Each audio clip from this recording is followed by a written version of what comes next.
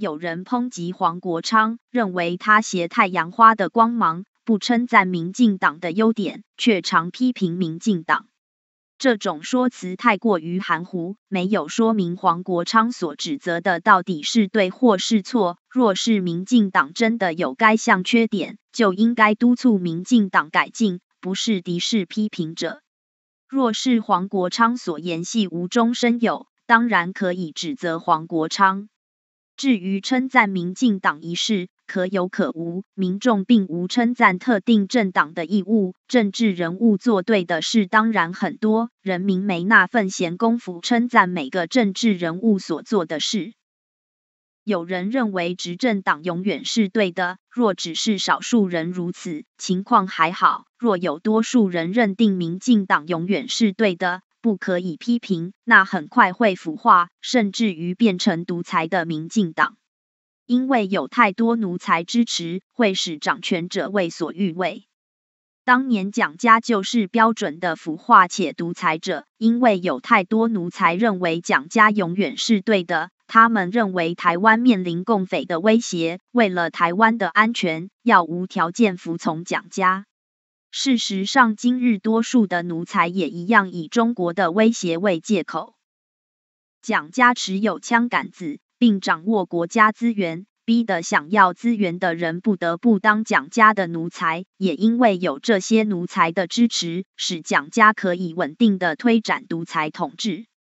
政治民主化之后，没有人能强迫人民当奴才。照理说不应该再出现奴才，可是还是有。不少人专围剿批评民进党者，即使这些批评者所说的都是事实，奴才们还是照样围剿。所持的理由也是在中国威胁下，大家应该团结一致，不可以说出民进党的缺点。当年有独派人士对民进党不满，因而在一九九六年成立建国党。很多民众支持建国党，除了捐献外，还到建国党当志工。但为了要打倒中国国民党，担心浪费票源，还是将选票投给民进党。他们虽然无条件支持民进党，但不止不排斥建国党，还对建国党有相当大的贡献。这一群人不止不是奴才，而且是有很坚定的政治信仰者。由于民进党支持者秉持政治信仰。不盲目当奴才，所以民进党完全不腐化，使该党急速成长。建国党于一九九六年成立，立即投入一九九七年的地方选举，不止没有影响民进党的选战，民进党的战绩还空前绝后，造成全国绿油油。改制前的台中市及台中县，民进党也只有那一年赢得县市长选举。以前，民进党支持者虽然坚定支持该党，但不排斥秉持政治信仰的绿色小党，甚至于帮助小党。所以，民进党不止不独裁，更不会腐化。所以在一九九七年的地方选举创造空前的佳绩。